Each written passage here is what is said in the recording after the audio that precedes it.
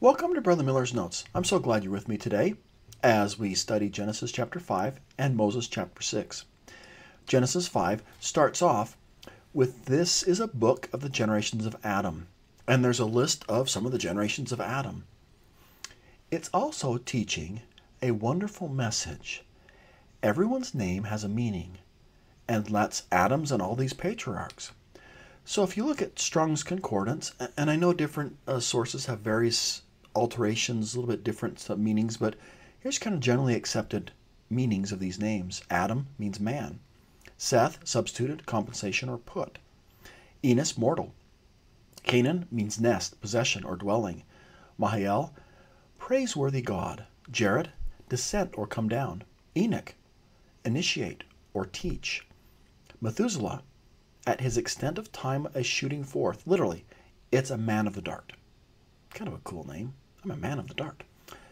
Lamech, meaning lost or despairing. And Noah, quiet, peace, rest. Well, you can put that all in a sentence, and it teaches here is the future gospel of Jesus Christ. All one sentence is, and it's in blue quote, man puts on mortality as his dwelling. So the praiseworthy God shall come down to teach that at his fullness of time the lost may have peace and rest. Or maybe more simply, man is appointed mortal sorrow, but the blessed God shall come down teaching his death, shall bring the despairing rest or comfort. As I compare these two chapters together, it made me have just a question in my mind. Because there's a lot in Moses chapter 6 that's not in Genesis. And I thought, well, if you were Satan, what one thing would you do to cause a lot of confusion, or as much confusion as you could, among the sons and daughters of Adam and Eve? Moses chapter 6 is an illustration of one thing that causes a lot of confusion. Let me show you, better show you than tell you what I mean. Here's the pearl of great price. Chapter 1, you may note in this picture, most everything is blanked out. What is blanked out is in the book of Moses, but not in Genesis. And as you see all almost all of chapter 1, it's not in the book of Genesis. But you get to chapter 2, then you have some things that are in Genesis and are also in the book of Moses. Chapter 2, a large part is in Genesis, but you get to some places like verse 16, you see a little white out there. Yep, there's some things in Moses that is not in Genesis, even though this chapter, most of it is in Genesis. It's in both.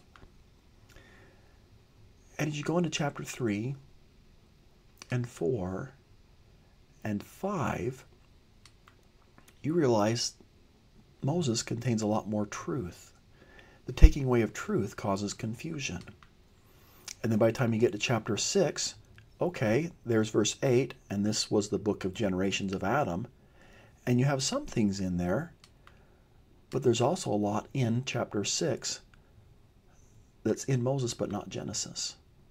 And the same with chapter 7.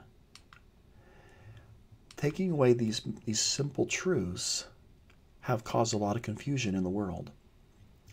So now just focusing on some of the things that are in Moses chapter 6. So we have verse 5 a book of remembrance was kept, in the which was recorded, in the language of Adam, for it was given to as many as called upon God. And I, and I pause there. This isn't just Adam. This is a book of remembrance for anyone who was given to call upon God. If they're praying, if they're worshiping God, they're given by the rest to write by the Spirit of inspiration things that they want to keep in remembrance. That is so applicable to us today. President Spencer W. Kimball used this verse as an idea to say we should be keeping a book of remembrance for us to be writing it by the Spirit of inspiration. President Spencer W. Kimball said, Those who keep a book of remembrance are more likely to keep the Lord in remembrance in their daily lives. Journals are a way of counting our blessings and of leaving an inventory of these blessings for our posterity. More recently, Elder Tad R. Callister, said this quote, Recording spiritual promptings results in at least the following blessings. It preserves the integrity of the message. It preserves the feelings of the moment. It plants spiritual seeds. It facilitates future sharing. It enhances future revelation. So, an example of one individual who's done this and who's felt inspiration and recorded it and then kind of gave a process. Here's how to get a little more inspiration Whence is Elder Scott. And he's talked about it several times. Elder Scott taught this When I'm faced with a very difficult matter, I start reading a passage of Scripture. I ponder what the verse means and pray for inspiration. I then ponder and pray to know if I've captured what all the Lord wants me to do. Often more impressions come with increased understanding of doctrine. I have found that pattern to be a good way to learn from the Scriptures. And I pause right there. For me, reading Revelation invites revelation. Reading the revelations in the Scriptures invites revelation in my heart and my mind. And it often prompts me to do what the Lord would have me do, to understand what the Lord wants me to understand. Now, continuing with Elder Scott. In that environment, strong impressions began to flow to me again. I wrote them down.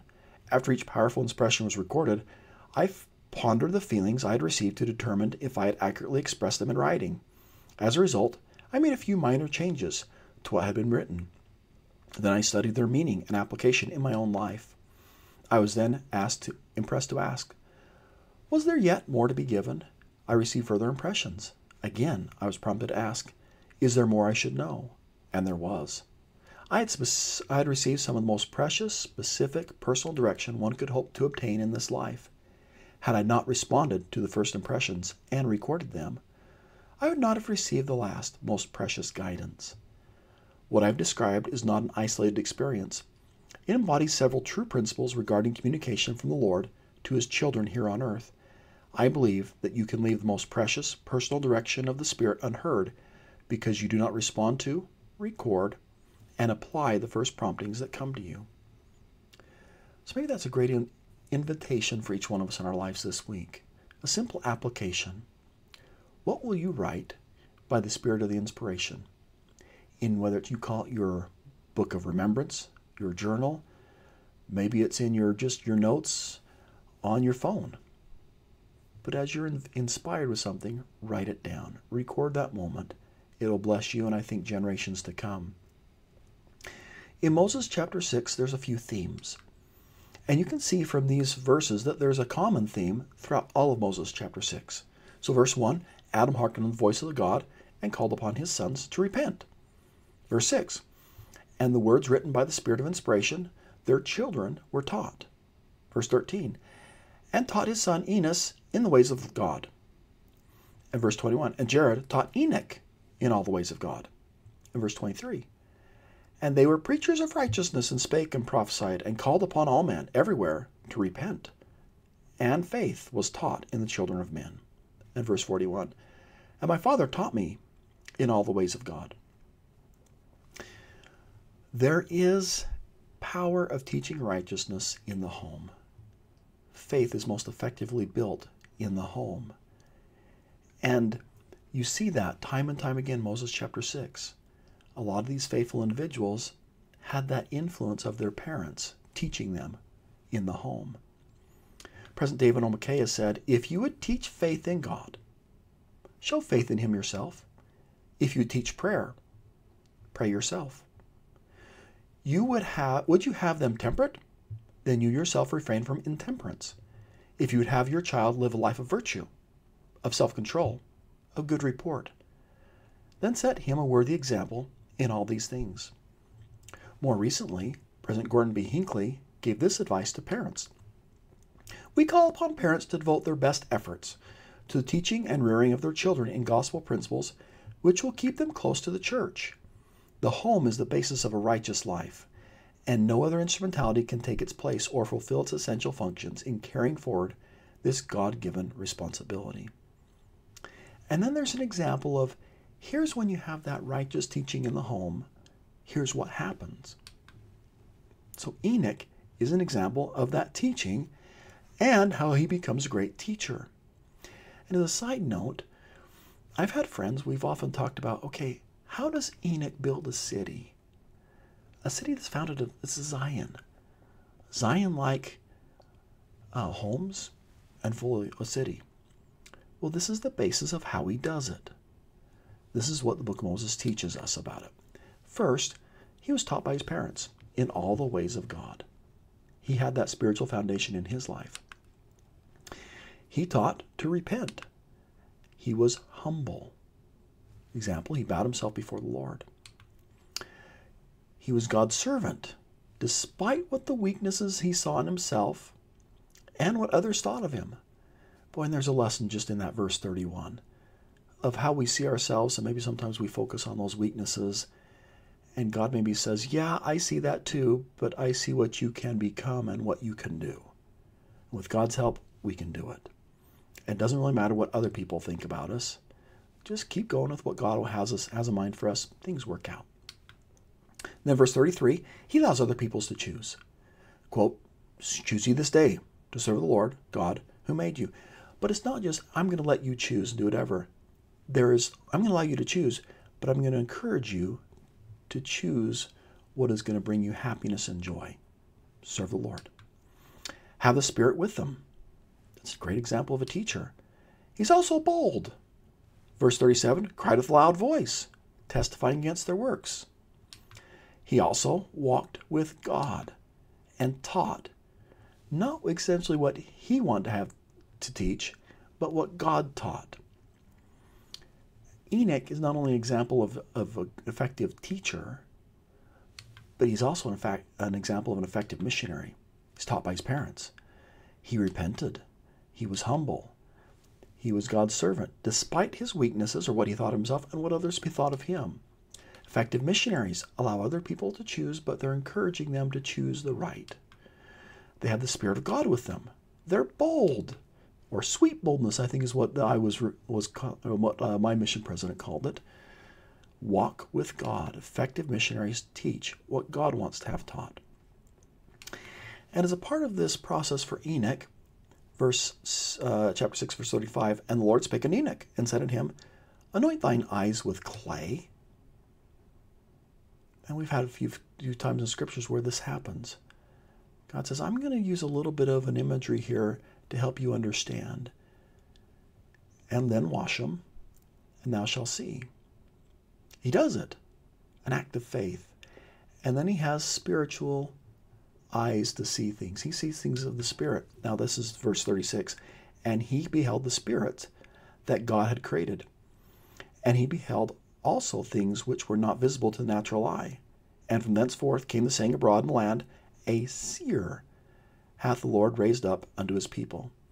Not just a prophet, but a seer. Elder John A. Widtsoe taught a seer is one who sees with spiritual eyes. He perceives the meaning of that which seems obscure to others. Therefore, he is an interpreter and a clarifier of eternal truth. He foresees the future from the past and the present. In short, he is one who sees, who walks in the Lord's light with open eyes. A prophet is a teacher of known truth. A seer is a perceiver of hidden truth. A revelator is a bearer of new truth. And here's what Enoch teaches because he is a seer. He teaches the fall of Adam. Here's what's happened in the past. And there is a Satan. There is good, there is evil. And God speaks to prophets today. God asks us to do certain things. And then here's kind of a little list. He asks to turn. And this is all in, out of one verse. Turn to him. Hearken, which is listen and obey. Believe and repent. And I pause. One of the things I love about this verse, which isn't taught in very many places, the word repent in Greek means a turning, a changing your heart back to God.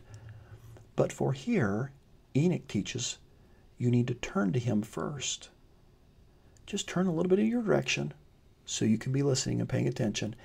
And then that repentance process seems to act a little bit better in your life.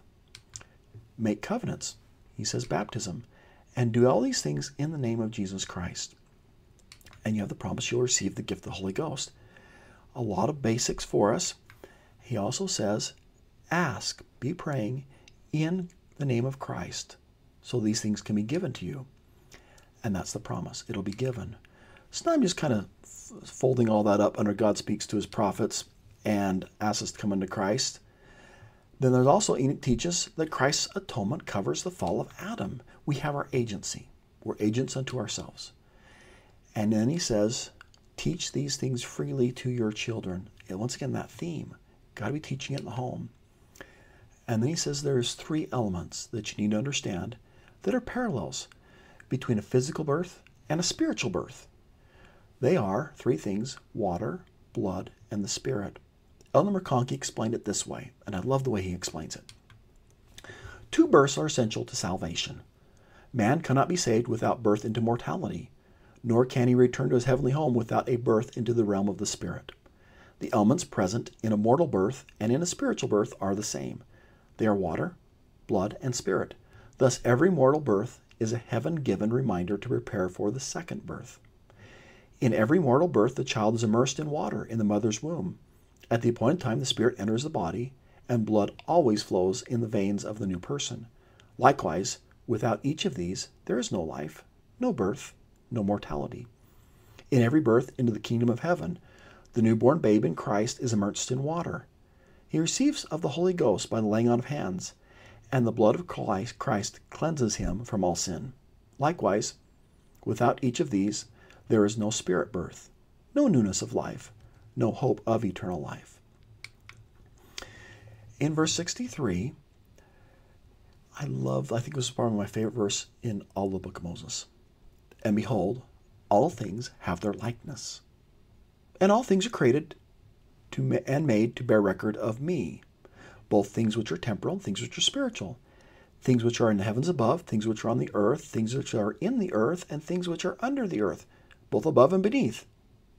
Then the summary. We got to understand all things bear record of me. And I started thinking, okay, all things bear record of me. I'll start making a list. I like making lists. Uh, oh, in the scriptures, there's so many things that bear record of Christ. Light. You just think about the qual properties of light and how it teaches about Jesus Christ. And when he says, I'm the light of the world, even the properties of Christ teach us about him and his mission. Water bear record of Christ. And Jesus uses water as an example. Of whosoever drinketh the water that I shall give him shall never thirst. There's also just a occupation like a shepherd bears record and teaches us about Christ. The Lord is my shepherd. A rock. That's another imagery that bears record of Christ. So 1 Peter 2 4, look under the rock from whence you are hewn. He is the living stone, 2 Peter 4. Uh, Helaman 5.12, build upon the rock. Okay, 5, lamb. A great example that teaches about Jesus Christ, the Son itself. Christ is the Son of God, the Son of righteousness. The life or the way, you could say the path. That's all teaches us about Jesus Christ. And I start thinking, okay, yes, there are sometimes a season where everything around us seems just to remind us of Christ.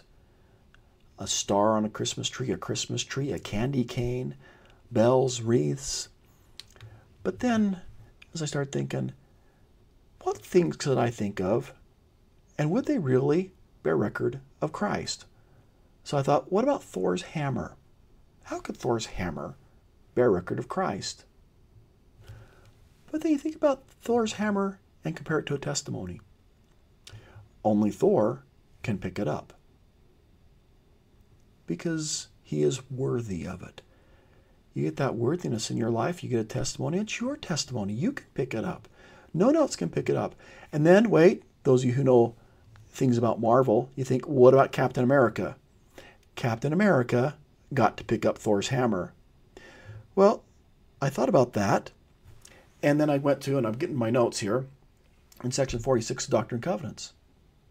To some is given by the Holy Ghost, in verse 14, to know that Jesus is the, is the Son of God, and that he was crucified for the sins of the world. Some people can pick up that hammer all by themselves, but others ask to be given to them. That's verse 14. To others it is given to believe on their words, that they also might have eternal life if they continue faithful. Or, as Captain America, he was worthy. Okay, maybe that's a stretch, but then I started thinking of him. And okay, and I got the light switch. Okay, that's I got that. Light switch. You can make great analogies anytime with light. And then to the left hand side, the way I'm seeing it, that's soap. I'm thinking, how can soap testify of me? Well, Malachi says the Lord is like fuller's soap. That's Malachi chapter 3, verse 2. That fuller's soap is a strong alkali soap that's used to remove dirt and oils and other impurities and to bleach and thicken cloth. The process of full, being a fuller involves beating and stomping the cloth with a soapy solution of water. And I thought, okay, that's a lot like, well, like what the Lord does with repentance. There is a process where we got to get it, get, get that dirt out of our life. And Jesus is that soap. But he's even more than that because he cleanses and make it as if the stain was never there. And then I thought, okay, what else?